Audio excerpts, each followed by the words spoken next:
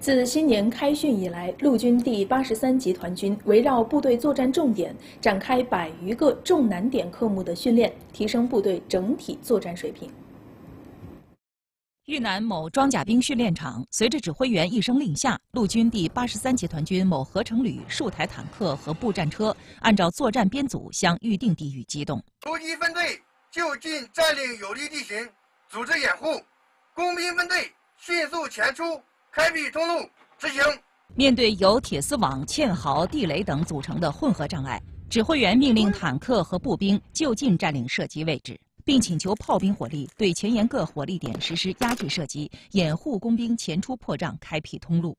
在火力掩护下，工兵和步兵对地雷、铁丝网等障碍一一予以清除，开辟安全通路。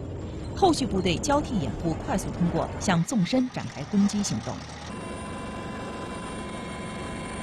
主动管可以起飞。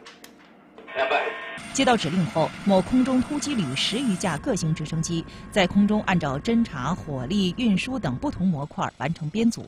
飞抵预定地域后，侦察编队率先超低空实施抵近侦察，并组织警戒。在空中火力压制掩护下，突击队员采取绳降、索降等方式果断离机。